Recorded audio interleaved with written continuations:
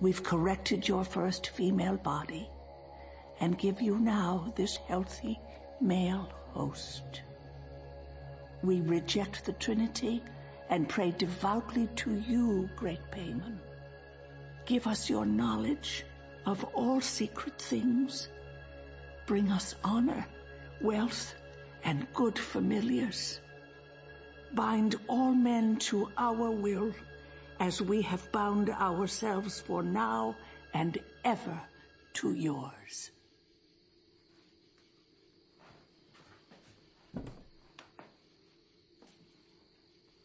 Hail, Paimon!